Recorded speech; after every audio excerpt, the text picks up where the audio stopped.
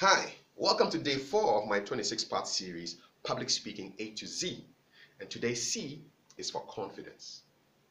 Pan Africanist leader Marcus Mosiah Garvey once said, If you have no confidence, you're twice defeated in the race of life.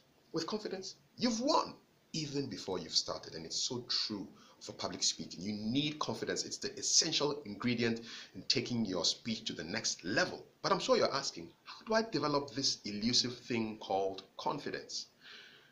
I'll show you three ways. And remember the acronym SAT. So S stands for skill.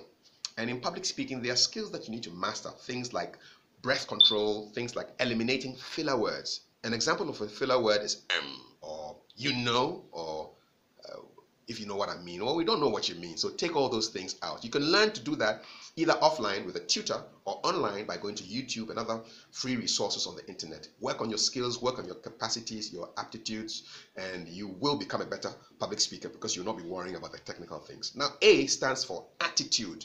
Your attitude basically is how you see yourself, how you see your audience, and your speech. If you think you are a poor public speaker, it will be a self fulfilling prophecy. You want to change your attitude by repeating affirmations. An example of uh, some affirmations I'm an engaging speaker.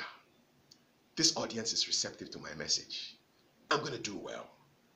I deliver a message that is useful to the world. And repeat these things before you get on the stage and it will show in your speaking. So that's uh, A for attitude or affirmations. And T is for talking. You want to talk about things that you know. One sure way to fail at public speaking is to pretend that you're an expert in a subject of which you know nothing. There's a reason why the very first essay we write in class one is myself. Because everybody knows a lot about themselves, and it's easy to write an essay about yourself. So speak about things you know. Years back, I used to have a public speaking class, and it was filled with people who hadn't spoken before. And I challenged them that they would be able to stand in front of the audience, which is their classmates, and speak for five minutes. They didn't believe it.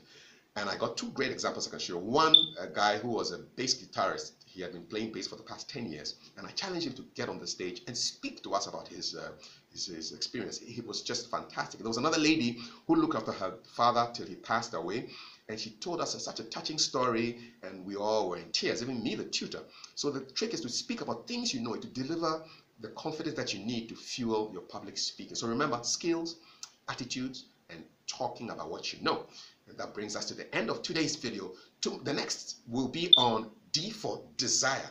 Catch you later